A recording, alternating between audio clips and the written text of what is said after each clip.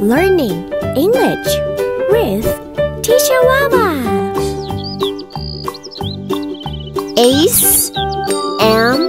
R. What is Ace M R?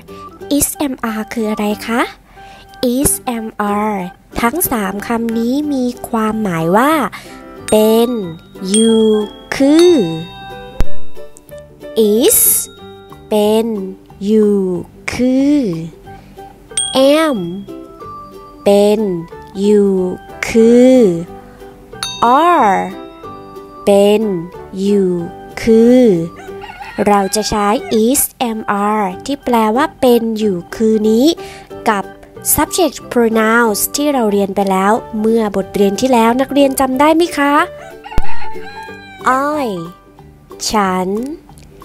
you คุณ we พวกเรา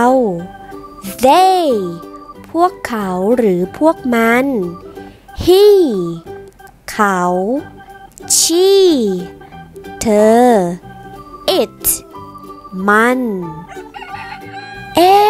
ว่าแต่ subject pronouns แต่ละตัวนั้น ใช้กับ is หรือ am หรือ are นะไปดูกันเลยค่ะ I am you are we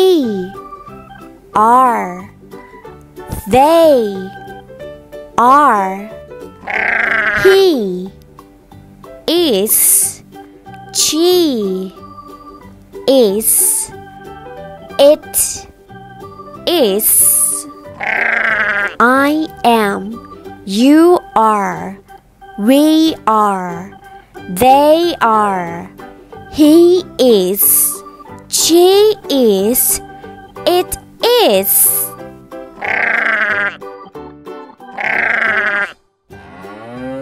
เอาละค่ะ เราไปดูตัวอย่างการใช้ is am are และ subject pronouns กันเลย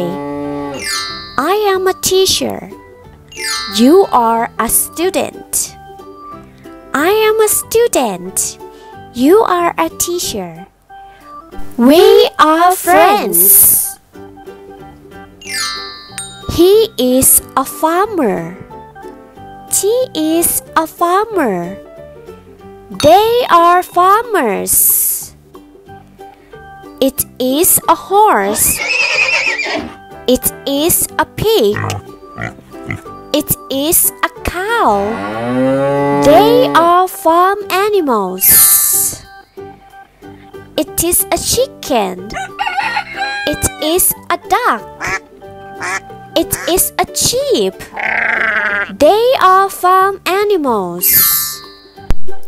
นักเรียนสังเกตไหมคะว่า he she it เมื่อมาอยู่รวมกันแล้วมากกว่าหนึ่ง เราจะใช้ คู่กับ are เราจะไม่พูดว่า he she is